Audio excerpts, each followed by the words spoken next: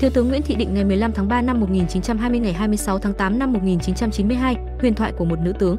Madame Nguyễn Thị Định, ba định bí danh Bích Vân, ba Tấn, ba Nhất và ba Hận, là nữ thiếu tướng quân đội nhân dân Việt Nam đầu tiên và nữ chính trị gia Việt Nam. Năm 1936, bà tham gia phong trào Đông Dương Đại hội. Năm 1938, bà được kết nạp vào Đảng Cộng sản Đông Dương. Năm 1940, chồng bà bị bắt đày đi Côn Đảo và hy sinh ở đó. Tháng 8 năm 1945, bà tham gia khởi nghĩa giành chính quyền ở Bến Tre. Đầu năm 1960, bà là một trong những người lãnh đạo đồng khởi Bến Tre và chỉ đạo trực tiếp cuộc đồng khởi đợt 1 ngày 17 tháng 1 năm 1960, mở đầu cho phong trào đồng khởi sau này.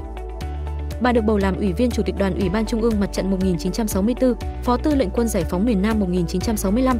Năm 1974, bà được phong quân hàm thiếu tướng.